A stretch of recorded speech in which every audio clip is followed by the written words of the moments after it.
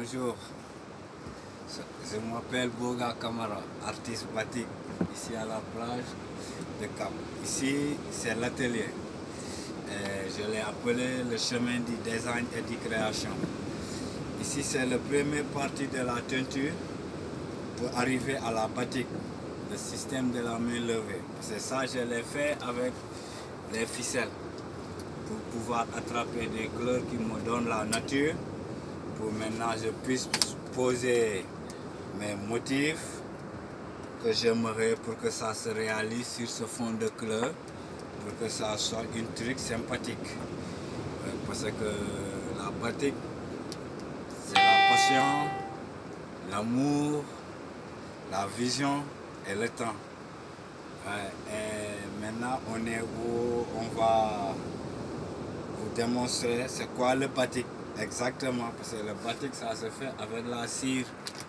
On fait la cire et après on dessine à la main levée. Il y a la teinture de la ficelle, mais ça ne veut pas dire batik. La ficelle, c'est pas le batik. La batik, c'est avec la cire.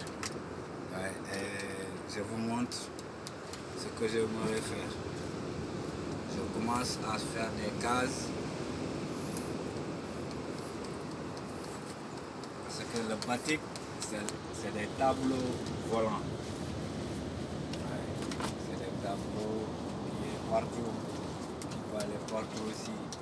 C'est pas exposé que dans des salons ou des chambres, on le porte aussi.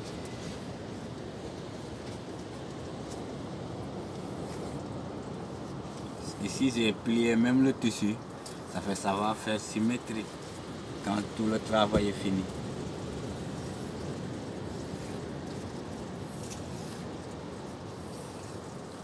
Que si je fais les cocos, parce que ici en Casamance, on a les cocos et les palmiers.